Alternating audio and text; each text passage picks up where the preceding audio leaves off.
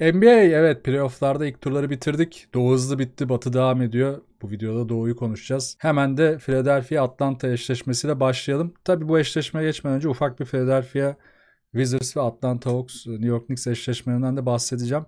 E, zaten bu ilk turlar için upuzun bir analiz yapmıştım 3 saatlik. E, yine oraya bakabilirsiniz detaylar için. Hızlıca değinirsem Philadelphia tarafında hani Wizards için çok konuşacak bir şey yok. Yani Wizards'ın artık hani bu maçlarla istatistiklerde çok konuşacak bir şey yok. Bir tek şunu ekleyebilirim. Yani Wizards'ın ilk maçı, o zorladığı ilk maç ki o maçta bile Philadelphia'nın çok fazla rolantide geçtiği periyotlar oldu maçın içerisinde. Ee, kazandığı maç bu iki maçta iyi şut yüzdeleri bulduğu için birazcık fark yaratmışlardı. Onun dışında zaten olacak gibi değil. Artık hani Scott Brooks'la Scott Brooks yani dalından koparıp orada yeni bir yol açmak e, belki işte Beal artık ki Beal de hemen söylenmeye başladı. Bu seriden sonra artık geleceğimi düşünmem lazım demeye başladı. Ki geç bile kaldı. Ya Westbrook kalabilir ama işte Hachimura gibi, Gafford gibi, Thomas Bryant gibi belki de biraz daha bu genç yapıyla beraber e, iyi bir draft takları kombosu bulup e, Beal için bunları toparlayıp artık yola bakabilirler. Çünkü float ettikleri alan çok dar. Yani maksimum 8-9-10'u zorlayıp buradan hani ilk turda böyle çok rahat bir rakip olarak playoff'ları terk etmek hiç keyifli değil. Gelecek için de mantıklı değil. Hani biraz yukarıya gidebiliyor olsalar belki fark yaratabilirler. Mesela Portland yıllarca öyle oldu. Yani Batı finaline gitti, ilk turda elendi, bir tur geçti vesaire derken en azından orada float edebiliyorlardı. Wizards'ta ise bu hiç yok. O yüzden artık e, yola bakma zamanı geldi onlarda bence. Çünkü Philadelphia zaten bu seri çok rahat geçti. Yani bir maç kaybetmesine rağmen Embiid'in sakatlanması ki onda da menisküste küçük bir e, yırtık var. Yani oynayacak Atlanta serisini ama ne kadar sağlıklı kalacak onu birazdan konuşacağız. E, burada hani Philadelphia'nın da istatistiksel olarak çok konuşulacak bir yönü yok ama şuna değinmem lazım bu seri için. Tobias playofflarda çok iyi umut verecek şekilde çok istikrarlı başladı. Simmons'ın zaten savunması e, Philadelphia'nın ana öncülerinden biri. Artı olarak Simmons yokken son iki maçta denedikleri e, Simmons'ın 4-5 rotasyonundaki yeri ki hani savunma eşleşmesinde ve hücum eşleşmesi, eşleşmesinde farklı e, rotasyonlar deniyorlardı bunu. Mesela işte Mike Scott'la kaldığında, Howard'la kaldığında ya da işte oraya Tobias Harris'le kaldığında farklı eşleşmelerle hem hücumda hem savunmada e, Simmons'ı kullandılar. E, artı olarak Simmons'ın e, yani savunma etkisi art, e, ve bu savunma etkisi yarattığı hızlı hücumlarda biraz daha kıymetli hale geldi. Dark Rivers'ta ki bunda sezonda da bahsetmiştim.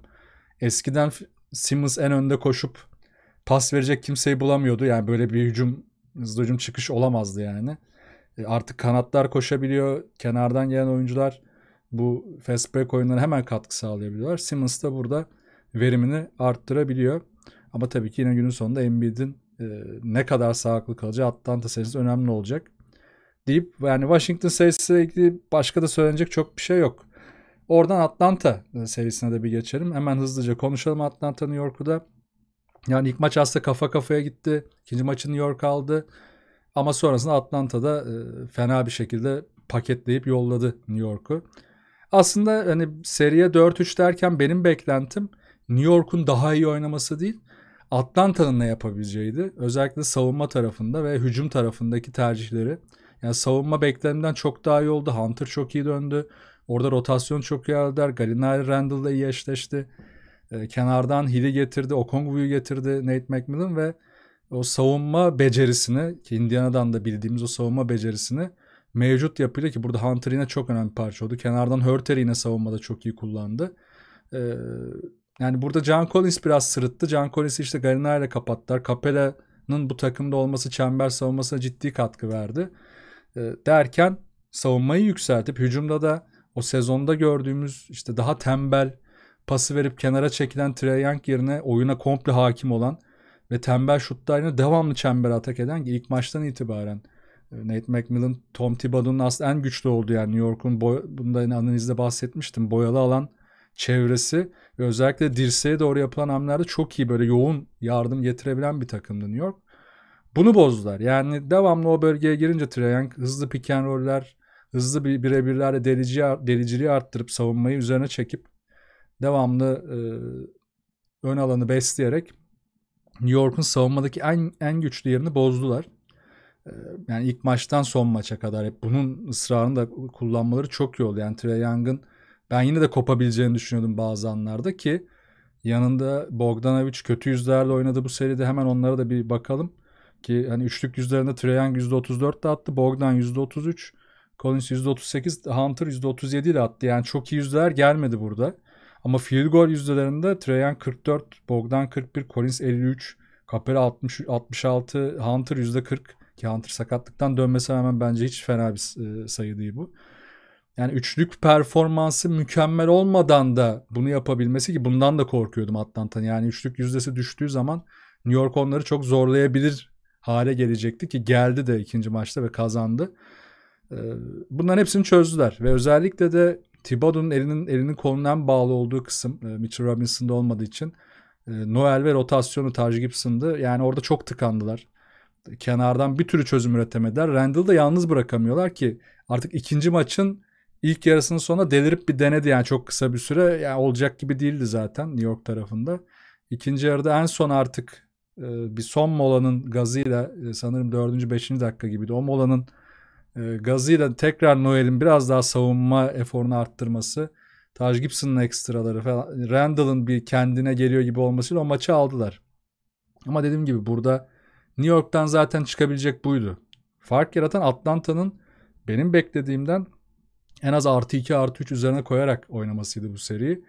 Böyle olunca da bence Philadelphia için daha korkulu, daha zor bir eşleşme yaratacaklar. Hele de yani çok iyi yüzlerle oynamadan New York'u böyle geçtiler. New York için tabii bir sıkıntı da e, pass connection'ın yüksek olmaması, asist e, ortalamanın çok düşük olmasıydı. Burada zaten Alfred Payton'ı barındıramadılar. Yani rotasyonun dışında kalmaya başladı serilerdikçe. Derrick Rose ilk 5'e girdi. Yani Derrick Rose dışında hem üreten hem ürettiren yani bir yardımcı bile olmayınca ve Derrick Rose'un da hani potansiyelinin nereye kadar gidebileceği belli olunca sonuçta kaçınılmaz oldu. Ama New York için işler çok kötü değil. Yani evet Randall'ın sezon potansiyelinin üstüne çıka, çıkamaması çok kötü işaret. Burada birçok soru işareti çıkacak. Ama Randall burada kendini tek birebirci gibi konumlandırıp oyunla çok kavga etti. E çok kavga edince de e, oyun size tepki veriyor ve kaybetmeye başlıyorsunuz. Belki biraz daha e, olgun bir hale gelmesi, oyununu değiştirmesi, biraz daha pasör yönünü güçlendirmesi e, lazım ama bunun için daha hareketli iyi kısalar da lazım. Yani Derrick Rose dışında da daha iyi bir kısa rotasyon lazım ki gelecek için yine Quickly ve Tapin de iyi işaretler verdiler bu seride. Alec Burks tabii 6. adam olarak e, özellikle ilk maçı çok iyi oynamasına rağmen sonunu getiremedi. Ya burada çok enseyi karartmaya gerek yok. Güzel, e, faydalı olabilecek en azından hem savunmada hem hücumda iş görebilecek gençler bir kenarda dururken artık hani bu yapıya uygun iyi savunma yapabilecek bir e, yıldız oyuncu ekleyebilirlerse New York için en azından seneye belki bir tur daha ileri gitme şansı gelebilir deyip bu seriyi de kapatıyorum ve esas eşleşmeye geliyoruz. Philadelphia Atlanta eşleşmesi. Notlarımızı çıkardık.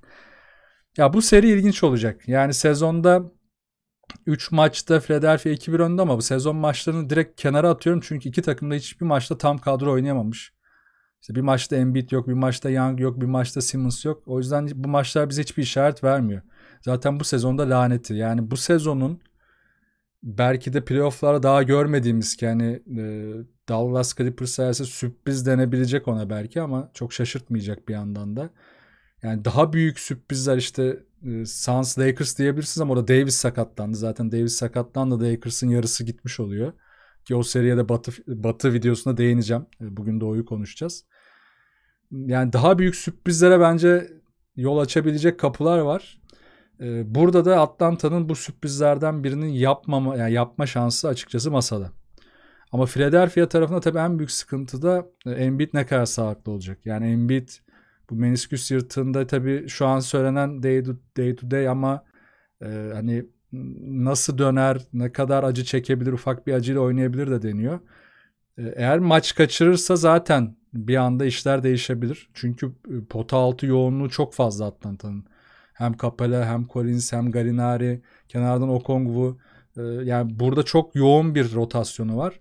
Ki hemen burada Atlanta'ya bir parantez açmamız lazım. Atlanta belki de bu kadar e, yoğun ve kötü geçen aslında mental olarak kötü geçen ilk kez belki de son 2-3 yıldır ilk kez bu kadar benchlerin önemli olduğu ki hatırlayın 200 sene öncesinde rotasyonlar iyice daralır. 7-8 oyuncuyla zaten takımlar ritmi bulmuştur, tempo ayarlamıştır. Çok iyi işler çıkarırlardı. Şu an öyle bir şans yok. Yani birçok oyuncu ciddi sakatlık yaşayabiliyor. Çok yoğun bir sezon geçti. E, o yüzden de şu anda Atlanta'da sadece bir rotasyon yok, backup var.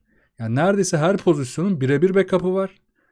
E, bu yüzden çok rahat ediyorlar.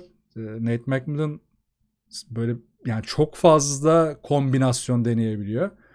E, yani bir anda Hill'i sahaya atabiliyor. Okongwu geliyor Hörter'le Bogdan'la başka bir 5 kurabiliyor. Fiziğini yükseltebiliyor, düşürebiliyor. O yüzden hani Philadelphia'nın eli burada biraz dar. Yani Embiid olmadığı zaman zaten orada bir skorerleri yok uzun olarak. Artı ola, artı Howard ve e, e, Simmons denemesi dışında da 5 numarada çok iyi bir e, rotasyonları yine yok. O yüzden Atlanta'nın özellikle Embiid e, bu kadar rahat oynayamayacak yani sakatlığından dolayı orayı yine New York maçında olduğu gibi kaşıyacağına e, eminim. Nate McMillan oraya devamlı saldıracak ki e, Embiid'in savunmasında ne kadar hani iyi olup olamayacağını evet gerçekten motive olursa savunması bir seviyeye geliyor. Ama devamlı yorulduğunda, devamlı üstüne girdiğinde ne kadar iyi olacak? Mesela şu örneği vermem lazım. New York maçında e, Nate McMillan şunu denedi özellikle. Young Collins ya da Young Garinari pick and yüksek pick and hemen devrilen e, oyuncuyu bulup direkt e, ön taraftan da Capella'yı orada çöpçü olarak gezdirerek çemberde çok yakın direkt Eliop direkt içine bırakacağı pasları yarattılar. Yani pick and birincil ve ikincil asistleri e, çok rahat pası ve asisti çok rahat çıkarabiliyorlar. Burada Embiid'i çektikleri, Embiid'i 5'te bırakıp çektikleri her nokta, Howard'ı çektikleri her nokta sıkıntı. Burada gerçekten Simmons bir fark yaratabilir. Çok hızlı olduğu için, savunma deflection yüksek olduğu için, e, pick and roll'de hızlı karar verebildiği için e, gerçekten bir artı yaratabilir. Buna çok dikkat etmeleri gerekecek. Atlanta burayı e, çok kaşıyacak. Tabii hücum tarafında da Philadelphia'nın ciddi artıları var. Yani Simmons evet Capella pardon Embiid'i Capella çembere çok yakın iyi savunabilir ama çemberden uzaklaştıkça işler değişecek. İşte burada rotasyonlar ve savunmalar önemli. Hangi karar alınacak? Yani iki kısmı var. Bir, Philadelphia'daki savunma kısmı. Simmons, e, Simmons Green, Curry üçlüsü savunmada Bogdan, Trae Young ve Hunter üçlüsünü nasıl savunacaklar? Buradaki paylaşım çok önemli. Yani Simmons'ın buradaki geçişkenliği onlara yani bu üç oyuncu da savunabilirken Curry kısa kalabilir. Green de burada esnek bir oyuncu ki Green bu sene en önemli savunma parçalarından biri Philadelphia'nın. Bir buradaki rotasyon önemli. İkinci rotasyonda Atlanta tarafında e, Embiid, Tobias ikilisini nasıl savunacaklar? İşte burada da Capella, John Collins, Gallinari üçlüsünün rotasyonu ki Gallinari Randall'la eşleşerek burada bir sınav verdi ama Tobias Harris Randall kadar kolay bir rakip değil. Gallinari çok zorlayacak. Collins de çok zorlayacak. İşte burada kilit isme geliyoruz. Harris. Yani Harris evet e, Washington serisini çok iyi geçti. Washington serisinde tabii Washington'ın savunması da ortada değil. Hemen istatistikte de vereyim. 25 sayı %38 üçlük %50 FG ile oynadık. %90'da faal attı. Bayağı iyi geçti bu süreci. Peki bunu Atlanta'nın savunmasına karşı yapabilir mi? Evet. Yani Collins ve Gallinari'nin savunmasına karşı yapabilir ama burada işte bir kart açacaktır Nate McMillan. Elinde Hunter var. Yani Hunter'ı demin bahsettiğim e, hücum tarafı için bahsetmiştim. Atlanta'nın savunması bahsettim. Hunter'ı Tobias Harris'le Harris'le eşleştirip işte bu sefer oradaki 4-5 rotasyonda Nate McMillan'ı e, farklı bir çözüm üretmeye e, elini açabilir Hunter. İşte o zaman belki e, Collins ya da Gallinari, Hunter ve işte diğer üçlü şeklinde bir rotasyon gelebilir. İşte Bogdan, Young, Hörter gibi mesela. Yani Hörter de çünkü orada sivil savunmasında iyi parça, iyi kalabilecek bir parça. Yani Atlanta biraz daha fazla kısabilir. Collins ve e, Capella'nın aynı anda kenarda kaldığı beşler belki görebiliriz. Özellikle de Embiid'in e, durumuna, Harris'in e, eşleşmelerine göre bayağı işler karışacak. Çünkü Embiid'le de birebir eşleşme zor. Yani Capella'yı çıkardığın zaman orada Collins'in eşleşmesi ona karşı fiziksel olarak biraz zorlaşmaya başlıyor ama Collins'in de avantajı Embiid uzakta top aldığında yani çemberden uzak aldığında da daha yakın kalabilir. Gariner de kalabilir. Bayağı bir e, dilema olacak burada. Yani Nate McMillan da e, diğer taraftan Doug Rivers da bence iki koçun da hem hücum tarafındaki bu rotasyonlarda hem de savunma tarafındaki rotasyonlarda baya bir kapışmasını izleyeceğiz ama özellikle 4-5 rotasyonda Philadelphia'nın eli çok güçlüyken kısa rotasyonda da Atlanta'nın eli güçlü. Tabi burada yine Atlanta savunmasının uzun kısmını konuştuk. Kısaları da konuşmamız lazım. Kısalara karşı da özellikle hızlı rotasyon oyuncularının işin içine sokup artı hani Simmons'ı burada kullanamıyorlar ama işte Curry'i burada kullanıp kenardan gelecek Maxi'yi, Milton'ı e, yeri geldiğinde kullanıp özellikle Young'ı ne kadar zorlayabilirler ya da belki Simmons'ı bir şekilde onun üstüne bırakıp özellikle posta itmeye çalışacaklar. Young'ın buradaki fiziksel savunma dezavantajını kaşıyacaklar. Ki şuna da parantez açayım yine Young bence New York serisinde hiç fena bir savunma yapmadı. Özellikle rotasyonlarda iyi iş çıkardı. Onun da hakkını vermek lazım. Onun için notlarıma bakıyorum. Yani e, mesela Philadelphia ile ilgili sorularım var aslında. Hani biraz tabii soru derken bunlar retorik olacak. E, yani Embiid sağlıksız kalır. Tobias da diyelim ki çok kötü maçlar çıkardı. En az bir maç belki iki maç kötü, kötü oynadı. Yani kim devreye girecek? Philadelphia'da bir, birinci eksik bu. Yani orada bir nöbetçi skorer yok. Ha kim olabilir? Belki kenardan gelen işte çok ekstra şut performansı veren oyuncular olabilir. Ya da işte e, kısalar ekstra üretebilir. Bilemiyorum ya da Green çok iyi bir üçlük performans verir. Burada nöbetçi e, oyuncuyu bulmaları lazım. Savunmada yine keza Atlanta'nın rotasyonu çok iyi dedik ama Philadelphia'nın da iyi. Yani kenardan Tybull'u getirebiliyorlar. Tybull gibi esnek bir oyuncuyu da e, özellikle de yangın piken rollerinde e, çok iyi kullanabilirler. E, savunmaya cevap verebiliyor e, birçok soruda Philadelphia ama hücumda işte Embiid'de bir şey olur ve Tobias kötü oynarsa ne olacak? Burada gerçekten çok bir çözümleri yok. Embiid'in drive'larda savunması çok zayıf kalıyor. Zaten bunu biraz bahsettim. Özellikle e, arka alanda Bogdan Young ikilisinin devamlı buraları kaşıyacak tepeden girip arka tarafta devamlı pas kovalayacağı durumlarda Embiid'i dirseğe kadar çekip çok ciddi potansiyel yaratabilirler. Buraya kesinlikle iyi bir çözüm üretmesi gerekecek Dark Rivers'ın. Tabi bu genelde topsuz taraf e, yardımlarıyla çözülür. Umarım bunu iyi yapabilirler yoksa Atlanta orayı çok zorlayacak. Geçişlerde hani savunma sete oturmadan e, hem katlarla hem de hızlı birebirlerle çembere gidebiliyorlar. E, Atlanta'ya karşı bunu kullanmak isteyeceklerdir. Mesela burada Furkan'ı kullanabilirler. Hızlı hücumlarda Furkan'ın alacağı kısa süreler Atlanta'nın rotasyon savunmasını zorlayabilir. Burada bir Furkan hamlesi görebiliriz. E, Simmons yine keza e, oyunda kalıp rotasyonda bu hızlı hücumlarda putback yani ikinci şans yaratabilecek çöpçülü yapabilir. Ekstra hücum reboundları e, ya da boyalı alana hemen hızlı konumlanıp orada bir e, asist alabilecek e, oyuncu olabilir yine Simmons. E, ve hani uzunlar dışında da Philadelphia'nın e, Atlanta'ya karşı ki Atlanta'nın dediğim gibi fiziksel olarak uzayıp kısalabilen bir takım. Reboundlara çok dikkat etmesi lazım. Kısa oyunculardan ciddi e, rebound alması ve e, boyaların devamlı zorlamaları lazım. Mesela Wizards'a yenildikleri maçta 17'ye 12 ikinci şans sayısına yenilmişlerdi. 48'e 40 boyalı alanı vermişlerdi. Ve hızlı hücumlarda 20'ye 7 kaybetmişlerdi. Bunlar işte biraz Philadelphia'nın oyundan çıktı anlar. Atlanta oyunu da olabildiğince Young'la tam sahada hızlandırıp e, Philadelphia'nın çok güçlü olan yarı sahasını ki Philadelphia geçiş savunmasında değil ama yarı saha savunması daha kuvvetli olduğu için onu bozmak isteyecek. Yani Philadelphia tarafında detaylar bu şekilde.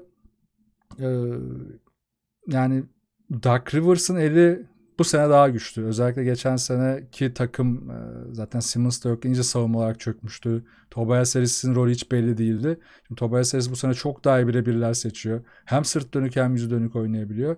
Atlanta'nın New York'a karşı yarattığı savunmayı gerçekten e, zorlayıp bozabilecek bir oyuncu. Bir de ben hala şeye şaşırıyorum onu da söyleyeceğim edemeyeceğim yani içime atamayacağım. yani Simmons'ın şutunu falan da geçtim artık da. Yani bu kadar artık low posta konumlanan bir oyuncunun bu kadar kötü footwork'e sahip olması ve ekstra bir e, silahının olmaması, güçlü bir silahının olması, olmaması, iyi bir spininin, iyi bir tek adım, e, floater'ının, bir şutunun olmaması. Yani yakın şuta yani böyle ekstra bir şey bekliyorum ki bunları atabiliyor. E, hızlı geçişlerde falan deniyor çok büyük eksiklik. E, hala burada çok eksik. E, belki de Simmons'ın buradaki gücü yüksek olsa Philadelphia çok çok daha net turu geçer diyebilirdim. Atlanta'da da son kez aynı notlara bakıyorum. Ek olarak ne söyleyebilirim? Ee, dediğim gibi özellikle John Collins Capela ikilisinin sağda kaldığı bölümlerde yangın buradan pick and roll ile birincil ve ikincil pasları yaratıp Capella'ya kadar bir trafik oluşturması Philadelphia'yı çok bozabilir. Tabi onlar da devamlı Embiid'i yormaya çalışacaklar. Embiid'in çıktığı anlarda da rotasyonun çok iyi hareket etmesi gelecek. Tobias'a karşı dediğim gibi yani eşleşme sorunu Collins e, orada yani dışarıda bir tık ağır kalabilir duruma göre ki çok faal problemine girebiliyor. Yani Randall ona göre çok fizikli kalmıştı. Tobias o kadar fizikli kalmayabilir ama o da çok daha çabuk bir oyuncu. E, o yüzden hani şuta kalkarken ya da birebir oynarken yine faal problemine sokabilir. Galinari deneyebilir ama Galinari de yine aynı sorunları yaşama, yaşama potansiyeline sahip. O yüzden bence burada Hunter hamlesi e, gelecektir diye düşünüyorum Nate McMillan'dan. Bakalım e, o ne düşünecek. E, onun dışında tabii Collins de başlarsa işin içine Green de giriyor. E, o zaman Hunter Green eşleşmezse Green'in ekstra üçlükleri tehlikeli hale gelecek. İşte burada kısa rotasyon dediğim konuya dönebilir Atlanta az önce bahsettiğim gibi. Tabii Atlanta'nın burada en büyük gücü e, ilk ilk maçta göremediğimiz yine dış şutlar. Dış şut yüzdesini yüksek bir seviyeye çektiğinde ve tempoyu burada oluşturduğunda Atlanta gerçekten Philadelphia'yı aşırı zorlayabilir ve e, belki de bir maçı böyle rahat bile alabilir. Ama tabii seri 4-1'e giderse bu maçın da çok önemi olmayacak.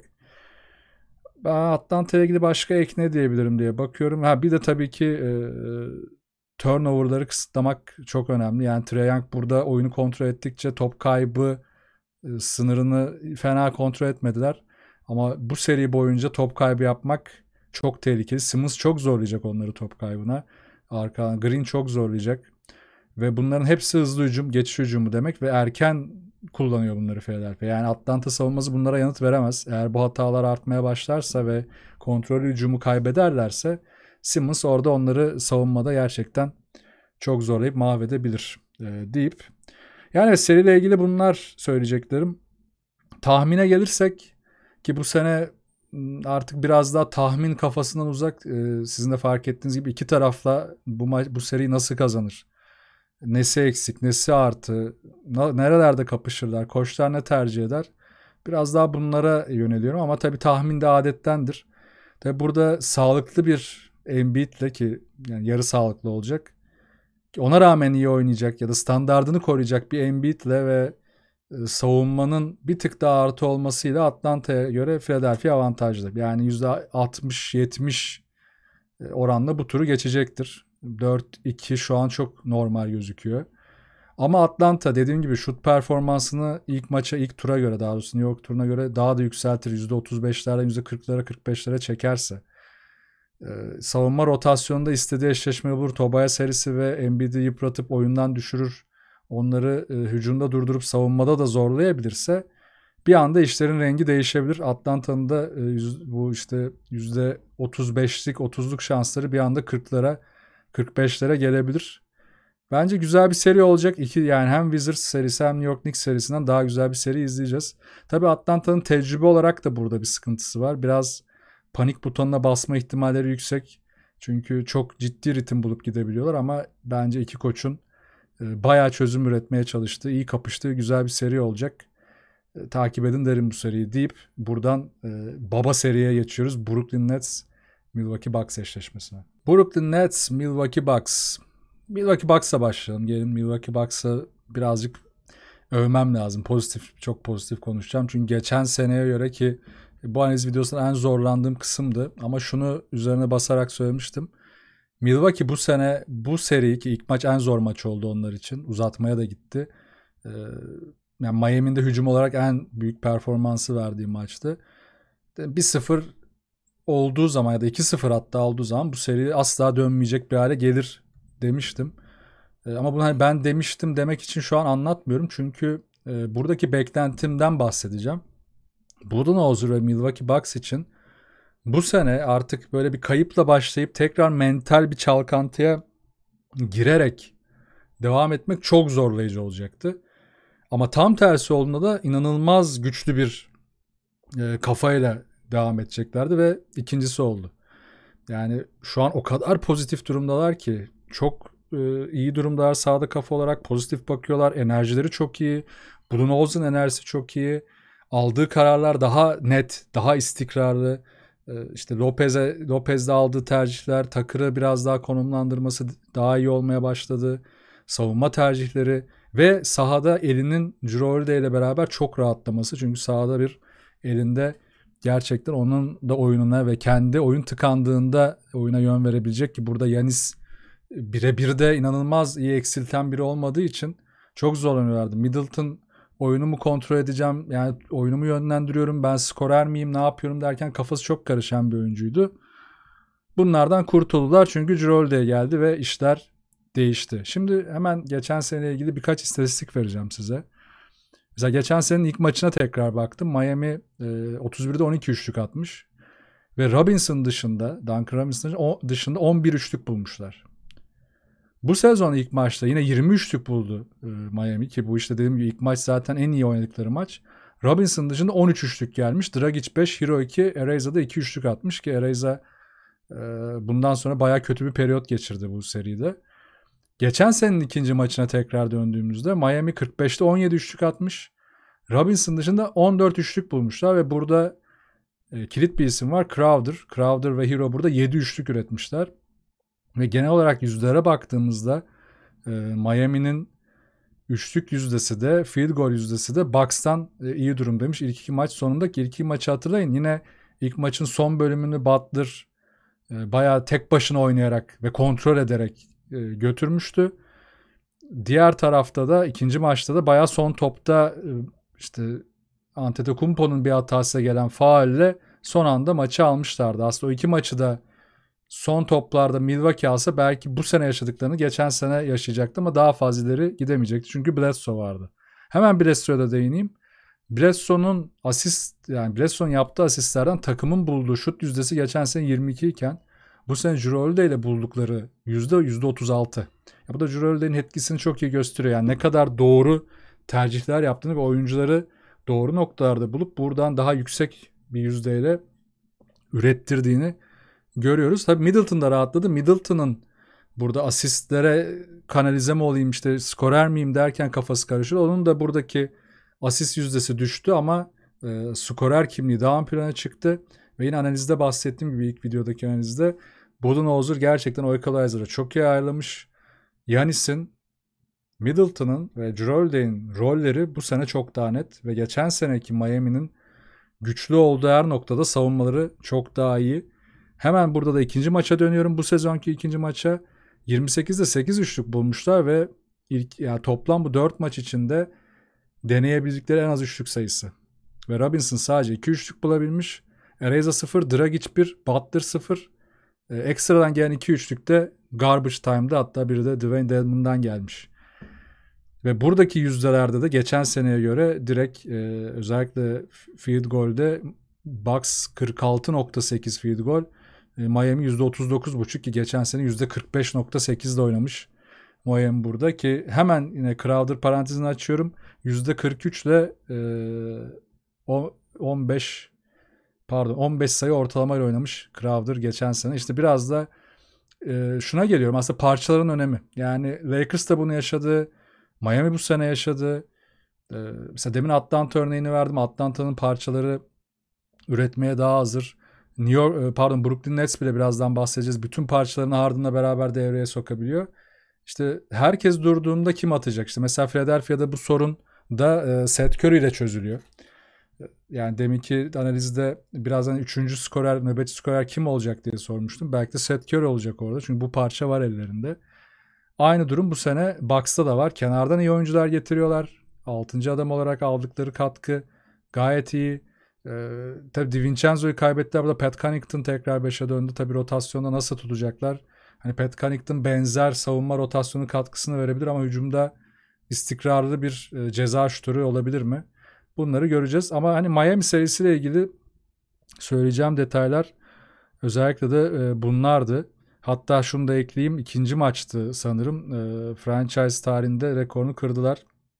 Bir devrede bulunan en çok üçlükle 15 üçlükle rekoru kırdılar. O maçta da toplam 22 üçlük buldu. Milwaukee Bucks. Miami için söyleyecek çok bir şey yok. E, bu seriyi mental olarak kaybettiler. Artı hani kadro yapısında tabii ki eksiklikler vardı. Hani Ereza Crowder'ın yerini alamadığı hem savunma hem hücum olarak Orada e, yani Iguodala geçen seneden bir yaş daha yaşlı aynı katkı veremiyor. Özellikle de Hero, Butler ve Dragic ki Dragic hadi yaşından dolayı bir kenara bırakırsak Butler ve Hero özellikle kafa olarak hiç ki Bem'i de sayabilirim burada. Hiç hazır değillerdi.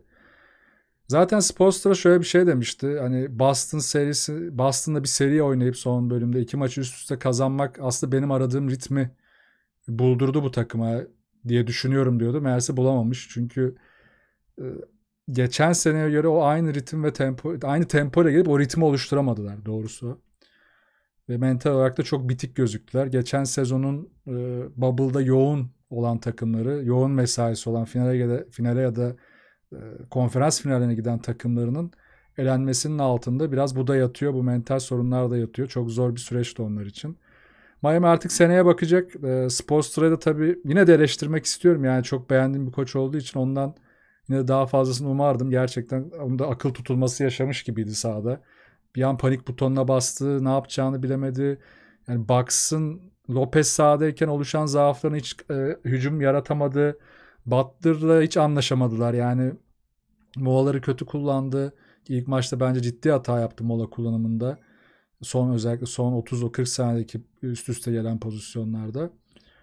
O da o da formsuzdu ve olmadı bu sene. Yani ama Miami için de bence NCAA'yi karartmaya çok gerek yok. Ee, bu yazı daha iyi geçirip özellikle artık hani Hero ve Bem'in development tarafında artık eksikliklerini biraz daha giderip Butler'ın kafa olarak daha e, hazır girdiği ve e, uzun rotasyonda BM alternatif olabilecek uzunlar buldukları, kanat oyuncu ekledikleri bir off-season geçirebilirlerse geçen sezonki e, performansına geri dönebilirler. Brooklyn Nets Boston tarafına da ufak bir değineceğim. Ee, yani Milwaukee Bucks'ı Nets serisine karşısında e, detaylı konuşmak istiyorum. Ya Boston için de çok söyleyecek bir şey yok. Aslında orada gelişmelere hemen hızlıca değinebiliriz. Danny Ainge ayrıldı. E, Brad Stevens da e, yönetici e, basketbol operasyonlarının başına geçti. Aslında haberi ilk duyduğumda şu tepki vermiştim. Yani Stevens'la coaching tarafındaki sorunlardan dolayı mı böyle bir karar alındı? Sonra şunu düşündüm.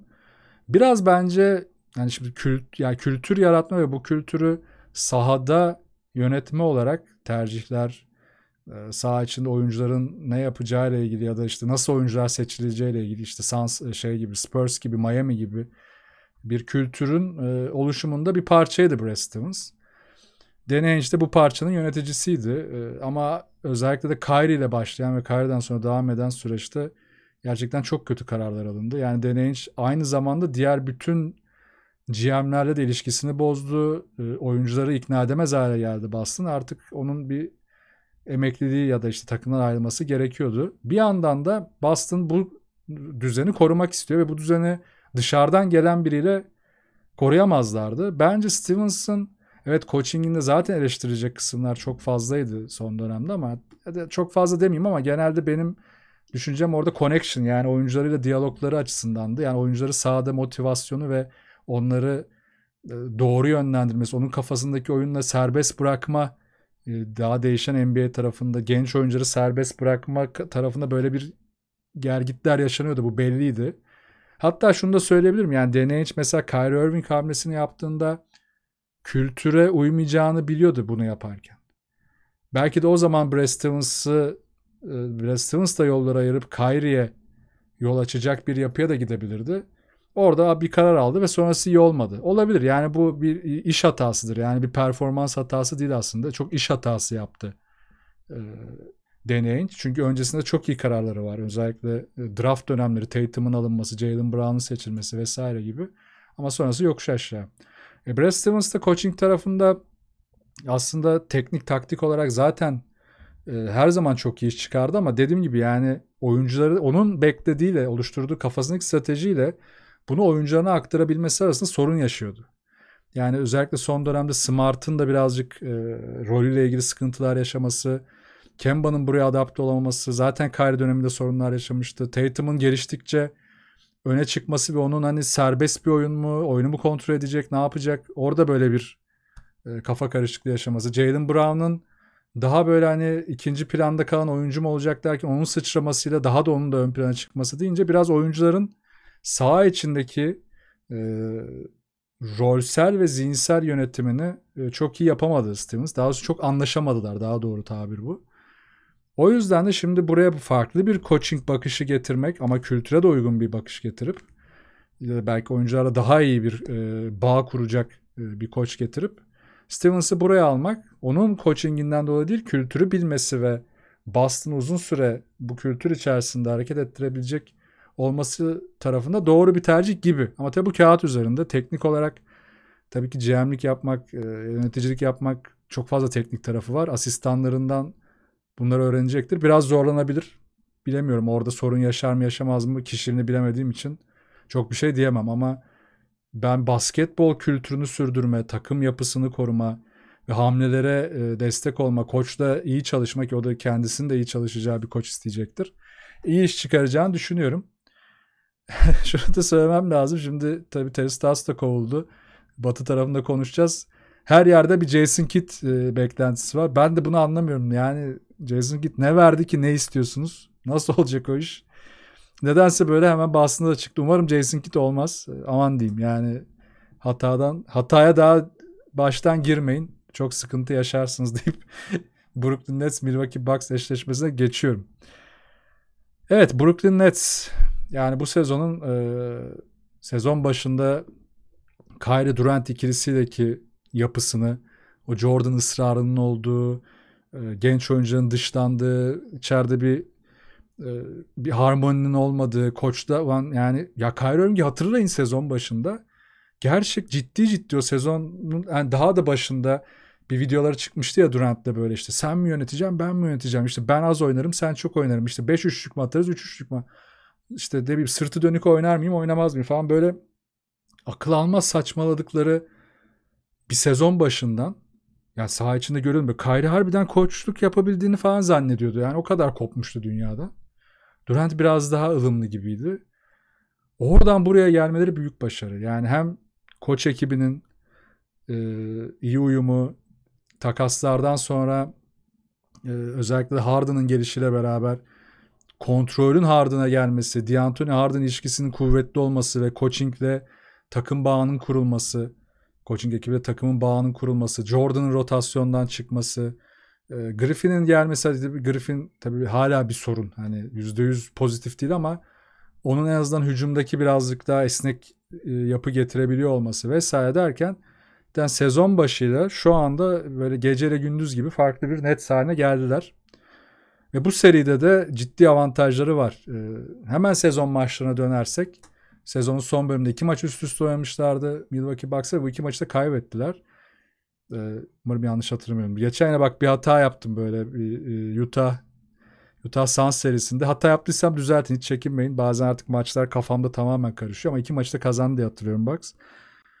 Ve e, orada Harden yoktu. Jeff Green vardı. Jeff Green de hani bu serideki durumu henüz belirsiz ama ilk maç oynanmayacağı düşünülüyor. Oynamayacağı düşünülüyor.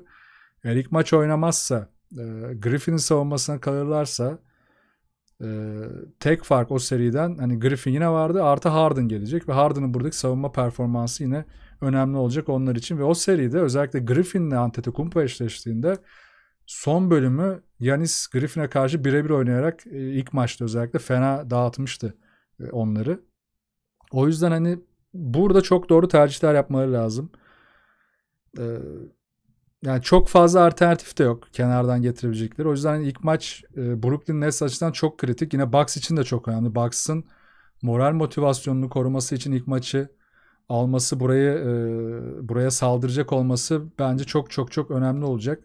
Hazır Jeff Green yokken de buradan ne çıkartabiliriz? Çok fena kovalayacaklar. Claxton buraya ilaç olabilir mi? Zor. Ee, çok kısa bir beşe dönebiliyorlar. Durant'i oraya koydukları belki Durant'i e, direkt Yanis'le eşleştirip burada tabii e, uzun hamlesi de gelebilir Lopez'le ya da Tucker'la sırf bozmak için burayı. Hamlesine karşı Durant, Bruce Brown, Harden, Kyrie e, ve Joe Harris'in olduğu bir savunma beşi de yaratabilirler. İlk maç çok kritik bu seride özetle. Yani ilk maç zaten Bucks için çok önemliyken Brooklyn için de çok önemli ki Jeff Green yokken savunma rotasyonları nasıl olacak sorusuna yanıt vermek için. Ha, bu süreç uzarsa savunmada daha da zorlanmaya devam edecekler. Çünkü Griffin evet hücumda iyi bir esneklik yaratıyor ama savunmada E, bu konu sıkıntı. Zaten burada savunmada da hemen e, Budenholzer'ın tercihlerine gelelim. Özellikle de hani Durant, Kyrie, Harden üçlü sahadayken Tucker e, Durant eşleşmesini yapıp Griffin'e karşı Yanis'i verip Yanis'i yardım savunmasında tutup e, biraz da savunmada yıpranmasını engelleyip hücumda da Griffin'e karşı oynatabiliyor. Burada tabii Harden'ı da Harden, Griffin e, iki tarafta da iki koçun gözünde de rotasyonda hem birbiriyle eşleşebiliyorlar hem de korumak için farklı oyunculara gidebiliyorlar. Burada asıl konu e, Middleton, Holiday ikilisinin hatta Pat Connaughton da buraya eklerim üçlüsünün Kyrie ve Harden ikilisine nasıl savunma yapacağı. Tabi burada Joe Harris'i de çöpe atmayalım ki Joe Harris, Shamet hatta Tyler Johnson'ı kenardan getirip iyi bir şut performansı da yaratıyorlar. Hadi diyelim Joe Harris sahadaykenki kısmı konuşalım. Burayı da engellemeleri lazım. İşte burada Middleton'ı nereye çekecekler? Yani Pat Connaughton Vincenzo'da Vincenzo kadar hızlı değil ya da hani hızlı olsa bile savunması o kadar iyi olmayabilir. Joe Harris'e biraz kısa kalırsa çok ekstra üçlük verebilirler.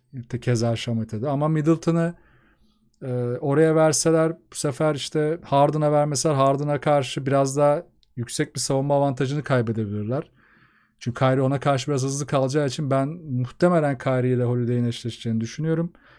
Ki bunu deneyeceklerdir ya da farklı rotasyonlar tabii pick and roll'lerle değişecek. Bu tamamen e, kağıt üzerindeki başlangıçtan bahsediyorum. Yani burada tercihler yine Philadelphia serisindeki gibi savunma tarafındaki ve hücum tarafındaki eşleşmeler iki koçun da satranç hamlelerin olduğu taraf olacak. Bayağı da eğleneceğiz yine burada. Ee, yani sadece Neş olarak değil ben Nets'i biraz da evet, o koç ekibiyle beraber D'Antoni de işin içine de, katıp da değerlendirmek istiyorum. Diğer tarafta Budenholzer'ın da etkisi çok önemli olacak. Burada Takır'a çok ihtiyacı olacak. Takır'ı e, zaten Lopez'i bu arada sezon maçlarında maçların son bölümünde hiç kullanmadı. Yani o son 5-6 dakikalarda hiç oyunu almadı. Bu da çok pozitif bir durum. E, maç içinde de hani Lopez'i bu sefer hani Green'de olmadığı ve Claxton'ın da sahada olmadığı anlarda sırf e, kısa Brooklyn'i bozmak için belki belli anlarda sahaya koyabilir, zorlayabilir ya da Portis'i burada bir dış şut e, oyunu iyice açmak için e, kullanabilir ki keza bunu Lopez'e de yapabilir. Artı Lopez'de bir de boyalı alanda fizik gücü kazanacak. Yani savunma tarafı böyle iki takım içinde. Buradaki eşleşmeler e, baya bir e, sıkıntı yaratacak. Artı olarak hani Yanis Durant eşleşmesi olduğunda iki tarafında yıpranma payı çok artacak. Burada Durant'in e, durdurulması çok kritik. Çünkü seride 32.6 sayılı attı ama %50 ile üçlük atarken %54 de field golle oynadı. Harden da %47.5'da üçlük atarken %55.6 field golle oynadı. Çok yüksek e, sayılar. E, bir de yetmiyormuş gibi Joe Harris'in %51 üçlüğü var. Ki aralarında en yüksek üçlük sayısı da Joe Harris'te değil. Yani Harden 40 üçlük, Joe Harris 33 üçlük denedi. Boston'a karşı bu yüzleri bulurken. Yani bu dış şut temposunu Miami'ye karşı bozdu Brooklyn. Okey yani ama ne dedik yani Duncan dışında da gerçekten istikrarlı bir dış şut bulabilecekleri hiç kimse yoktu bu sene. Yani geçen sene bunu Crowder'dan buldular. Yeri geldi Dragic'ten buldular. Dragic de bu sene düşünce Brooklyn iyice rahatladı. Yani orada çok rahat bir seri geçirdiler. Ama bu seri öyle değil. Yani savunmaları özellikle Milwaukee Bucks savunmasının bunu e, üzerine basa basa söylüyorum. E, üçlük savunmasında çok ciddi zorlanabiliyor. Ve savunma açıldıkça ki Brooklyn Nets bunu isteyecek. Savunmayı iyice açıp e, onları bu üçlük savunmasına zorlarken çok fazla top dolaşımı da sağlayabiliyorlar. Burada yıpratacaklar. Ve burada yıpratırken bir de yenilirlerse birebir savunmada çok fazla e, orta mesafe boyalı alan tehditlerine de açık olacaklar. O yüzden savunma, üçlük savunması özellikle de bu seride e, Bucks için çok kritik. Nets'in de Bucks'ı ana parçalayacağı alanlardan e, biri olacak. Onun dışında yine notlarıma dönersem e, en büyük sorularımdan biri yine şu Durant ve Kyrie kontrolü Harden'a bırakıp oyunu bekleyecekler mi? Bunu yapmaları şart. Diyebilirsiniz ki sen ne diyorsun? Hayırdır? Evet yani sahaya dikkat ederseniz Özellikle de Harden'ın kontrol ettiği ki rotasyonda tek kalıp kontrol ettiği andan bahsetmiyorum. Evet Harden rotasyonda Kyrie ve Durant'i kenara alıp e, backup oyuncularla bir arada bırakıp ikinci beşte bir arada bırakıp onları devreye soktu. İşte 7 sayı, 6 asist, 15 sayı, 7 asistlik periyotlar falan yakalayabiliyor Harden böyle. bütün takım yükselttikleri çeyrekler ya da çeyrek içerisinde periyotlar oynayabiliyorlar. Aynı konu Kyrie ve Durant sahadayken yine yapılabiliyor. Yani bunu yaparsa çok ciddi verim alıyorlar. Yani Kyrie çok rahat boş şut buluyor, hareketli, topsuz oyun yaratabiliyor. Durant keza aynı şekilde. Gerçekten Bucks'ın o yarı sahada üçlünün içindeki yoğun savunmasından kurtulabilirler bu şekilde.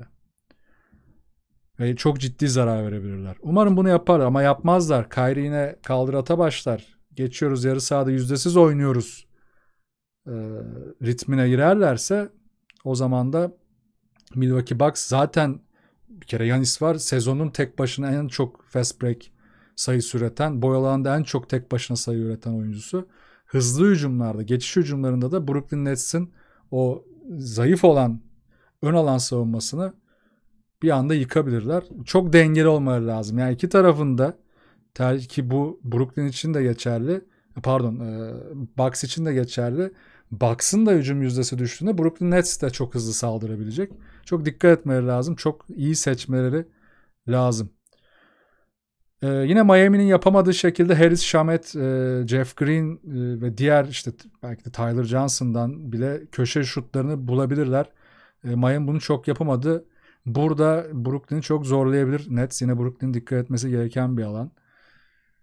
Ee, Bast kaybettikleri Boston maçında Bruce Brown ve Harden'ı mesela e, ilginç bir şekilde savunmada ve hücumda 4-5 rotasyonu gibi daha doğrusu hani rol olarak söyleyeyim öyle konumlandırmışlardı. Harden mesela burada çok ciddi fark yaratabilir. Bu tarz özellikle Lopez sahada yokken sadece Yanis'te kaldıklarında bunları deneyebilirler. Orayı zorlayabilirler. İlginç ee, özellikle de box savunmasını farklı noktalara zorlayabilecek rotasyonlar görebiliriz.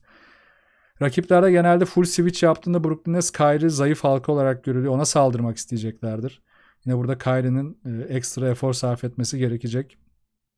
Kaldıratlardan bahsettik. Harden'ın özellikle tek başına rotasyonda kalmasından bahsettim. Ee, burada tabii bir sorun da özellikle Green de yokken e, Durant'le, Griffin'le ya da Harden'la kısalmak e, rebound sorunu yaratıyor. Ve siz rebound sorunu yaşamak istemiyor. Yani sizin rebound sorunu yaşamak istemeyeceğiniz tek takım da Brook, e, Milwaukee Bucks olabilir gerçekten. Özellikle de Yanis'le beraber çok fazla ikinci şans sayısı yaratabilirler. Hatta hatta benim en sondaki favori Yanis e, fikrime gelirsek de ki bunu sahada Budenholzer kullanıyor tabii ki benim fikrim değil bu sadece. Topsuz oyun. Yani Yanis'i özellikle pick and roll'de screener olarak kullandığı zaman Milwaukee Bucks acayip rahatlıyor. Çünkü ya düşünün normalde uzunları e, üçlük civarında ya da biraz yukarıda konumlandırdığınızda yüksek devirmek hele de biraz büyük bir uzunsa çok vakit alıyor. Tam üçlük civarına devirirseniz bazen çok hızlı yardım geliyor. Ama Yanis'i devirirseniz pick and roll'de tek adımla zaten neredeyse çembere gidiyor. Ve artı olarak sadece topu vererek değil, topsuz da yine tek adımda çembere gidebildiği için Cirolde ya da Middleton çok rahat direkt alley pas yaratabiliyorlar. Ve yani savunma arka alanda onu ona yardım getirmekte fiziksel olarak çok zorlanır. Öyle bir atletizm bulamazlar.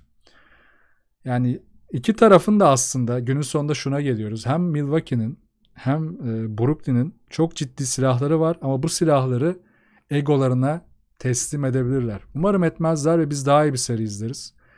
E, bu yıldız oyuncuların egolarının çarpışması yerine akıllıca oynadıkları, koçlarını dinledikleri ve koçların da onlarla iyi kararlar aldıkları bir seri gelir. Bucks tarafında da birkaç konuya daha değineceğim. Mesela ilk seride Forbes inanılmaz oynadı. Forbes bu seride de aynı tempoda atabilecek mi? Mesela Bucks tarafında önemli bir sorun. Ee, özellikle kenardan gelip skor üretimine ciddi katkı veriyordu. Bunu veremezse Bucks rotasyonda zorlanabilir. Lopez savunmada çok rahattı Miami'ye karşı. Ee, bu sefer o kadar rahat olamayacaktır. Ee, ki bunu sezon maçlarında gördük. Lopez'i son bölümde oyuna sokmadı Budenholzer. Yine kullanmayacaktır diye düşünüyorum. DiVincenzo'nun yokluğunda e, Pat Connaughton yanında e, Teague de devreye girecek ama Jeff Teague'den ne alabilirler? Çok e, umutlu değilim. Orada çok tıkanabilirler. Drew çok yıprandığı, yorulduğu bir seri olabilir o yüzden. Keza Pat Connaughton'ın da. E, Yanis'in topsuz oynadığı pozisyonların sayısı artacak mı diye not almıştım ki ondan bahsettim. Umarım artar. E, ha burada bir konu daha var. Yanis'in ceza şutları. iki maçta 7 üçlük bulmuştu sezondaki maçta. Griffin onu full riske ediyordu. Yine riske edeceklerdir ama işte Yanis burada kaç atabilecek? Yani özellikle 1-2 maçta cezalandırabilirse bu riskleri e, gerçekten o maçı alıp götürebilir. Ekstra çıkacak 4-5 üçlük belki 3 üçlük bile Bucks'ın özellikle maçın clutch anında çok işine yarayabilir. E, Brooklyn Nets'in buna yine dikkat etmesi lazım. Middleton Duncan Robinson'ı mükemmel savunmuştu. Burada da Harris'i devreden çıkartabilir. E, ama dediğim gibi buradaki rotasyon çok önemli. Onun özellikle pick and roll'lerde e, ondan özellikle pick and roll'lerde kurtulmaya çalışabilir e, Brooklyn hücumlarda. Ona çok dikkat etmesi lazım yine. E, Middleton skor üretiminde muazzam iş çıkardı. Bu sene pure skor olarak sahada kalması e, kafasını çok daha rahatlatmış. Çok daha rahat e, topu kullanabiliyor. Yanis'e Yanis'e ikisi birbirine inatlaşmıyorlar. Ve boyalı alan atakları da Miami serisinde önemliydi. Eğer boyalı alan ataklarını e, Nets'e karşı da yapabilirse Nets savunması yine çok zorlayacaktır. Umarım yapabilir. Tucker ve Yanis'in e, savunma rotasyonundan bahsettik. E, onun dışında tabii Lopez'in savunmasının zorlanacağından tabii ki bu zaten 3 yıllık bir sorun ve bunu Tucker'ın gelmesi, Portis'in eklenmesi ya da işte orada Yanis'in daha iyi bir hale gelmesi çözdüler diyoruz ama şunu da hakkını vermem lazım. Miami'nin e, düşen hücumu karşısında Lopez'de savunmada iyi iş çıkardı. Hatta bazen switchlerde bile kaldı ki hayret ettim yani nasıl e, başardın. Hani biraz daha tabii köşelerde oldu bu yani çizginin de yardımıyla da kaldı ama yine de onun için büyük aşama. Hani e, eğer çok kısalırsa Brooklyn Nets Milwaukee Bucks'ı büyütüp boyalı alanda bir üstünlük getirme şansı deneyebilirler. Ama bunun süresi bu Nozer tarafından kısıtlı olmalı yine de. Ee, onun dışında çok da ekleyeceğim bir şey kalmadı galiba. Tekrar bir savunma rotasyona bakıyorum. Mesela sezondaki maçla ilgili şu notu almışım. E, son bölümde Tucker Durant, Griffin Yanis, e, Green Middleton, e, Holiday, Holiday, Kyrie ve e, Pat Connaughton, Shamet'in eşleştiği mesela bir rotasyon oluşmuş. E, buradan da gördüğümüz kadarıyla zaten evet hani Holiday Kyrie ile eşleşecek. Onun Kyrie'yi devreden çıkarması, zorlaması bayağı işleri değiştirir. Çünkü Kyrie maç içerisinde kötü oynadıkça kavga etmeye başlıyor. Yani oyunla kavga etmeye başlıyor. Ve çok hızlı düşüşe geçebiliyor. İşte burada acaba şu sorunun cevabı gelir mi? Yani özellikle de Steve Nash tarafında tabii o head coach olarak bu kararı alacak. Yardımcıyla beraber. Kyrie'yi belki de son bölümde kenarda tutmak gerekebilir ya da Kyrie'yi tamamen spot şutöre geçir, e, çevirmek gerekebilir. Bakın bunu her maç için söylemiyorum. Kötü gittiği bir gün için söylüyorum. Yanlış anlaşılmasın. Yoksa Kyrie tek başına iyi gününde Brooklyn'in yarı sahadaki o sabit e, stiff sert savunmasını sırf drive'larıyla en çok yıpratabilecek oyuncu. Bunu yaptığı zaman zaten sorun yok. O bir kenarda. Ama kötü gittiği bir günde oyunla kavga ettiği, zarar verdiği, kaldıratlara girdiği, çok kötü yüzdeyle attığı, kılaça gelinen anda onu kenara almak mı yoksa köşede kalıp spot şutör olabileceğine inanmak mı? Belki de bu da Brooklyn Nets'in bir direnması olacak sahada. Deyip bu eşleşmeyi de bitiriyorum. Ee, yani iki taraf için de kritik noktalardan bahsettik yine. Tahmini çok zor. Yani Milwaukee Miami için de bunu söylemiştim. Ee, yine o yüzden birazcık geniş bir tahmin olacak. Yani Bucks'ın Miami'de Miami'ye karşı yaptığı Miami'nin düşük hücumla yaptığı üçlük savunmasını sürdürebilmesi. Yanis'in daha fazla topsuz oynaması. Kenardan yine aldığı skor katkısını alması. Ee, savunmada Tucker'la, Yanis'le, Middleton'la, Jrolde ile Pat Connaughton olacak rotasyonlarda çok iyi iş çıkarması halinde serideki şansını %50-50'ye getirir. Ama bir yandan da Brooklyn Nets'e bakıyoruz. Sezondaki maçta Harden yokken seriler kafa kafaya geldi. Ee, iki maçı da son anda özellikle de Yanis'in Griffin'le eşleşerek çıkardı. Ekstra aldılar. Bu yandan da hani bu, bunu bu olmayacaktır. Yani bunu engelleyecektir Brooklyn Nets ve Brooklyn Nets e, çok iyi bir tempo ile geliyor. Çok moralli geliyor onlar da Milwaukee'ye karşı.